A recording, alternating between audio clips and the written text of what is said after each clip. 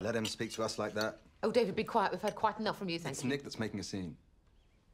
He's always causing a fuss. You're such. Dad agrees. You have not grown up into the man I had hoped you would be, David. As if you have any right to say that. You barely see your children.